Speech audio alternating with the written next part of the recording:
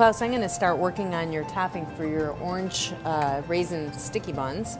We've got some butter here that I'm going to melt with brown sugar, a whole lot of honey. It's need to be sticky. The nice thing about the honey is it keeps the, the glaze nice and fluid in the pan too, so it doesn't crystallize as much. Orange zest, cinnamon, and some orange juice concentrate, so it really gives a nice punch of flavor. And I'm just gonna stir this until all the sugar is dissolved. It'll take about five minutes. In the meantime, would you prepare the dough? So Melina, here's the cool thing about this product. I have two pieces of leftover dough from a previous production. And while you're cooking the sticky topping, I'm going to roll this out in a rectangle of about 12 by 12 inches. And this sticky bun topping is enough for yeah, about two pieces of about a pound, a pound and a half each.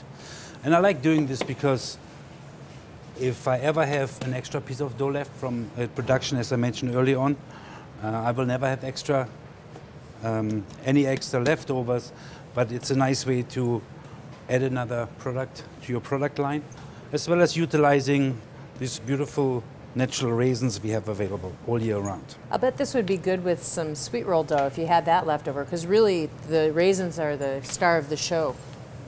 Okay, so I'm gonna roll this out, 12 by 12. Um, I think your sticky topping is almost done, which if you would please deposit it on your half sheet pan. I've sprayed the pan so that this will unpan more easily. Otherwise, the topping will resolidify pretty quickly after it comes out of the oven. Just pour it out. I'll move it around here too so that it just coats it nice and evenly. It will cool a little more quickly also because it's in a thinner sheet. Well, thank you, Melina. In the meanwhile, I roll out my two leftover dough pieces to about 12 by 12 inches and making sure that I have two nice rectangle pieces. I'm going to use the remainder of the brown sugar and equally sprinkle it over the two dough pieces, as well as our golden natural raisins. Thank you.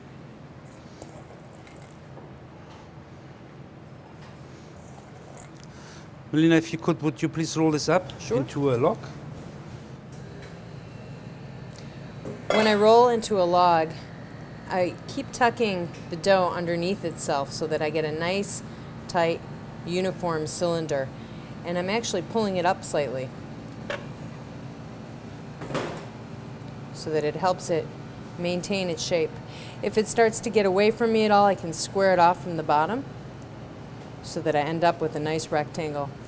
And then when I get close to the end, I give it another nice tightening motion. Do you like to seal your edge a little bit? Yes, a little bit of water? water. It will also ensure, if you roll up nice and tight, just like you demonstrated to us, that we have no air pockets at the end of um, the baking. We're going to cut the cylinder into one inch pieces and deposit it onto our pan. Four by five? Four by five. Four by five. There, by laying them out four by five, it gives the sticky buns enough room to expand. There we go. And we proof them until they are about double in size, not only in height but also the width, and then bake them in a preheated oven at 375. These are ultimately going to bake into one another, leaving the sides nice and soft. Cool.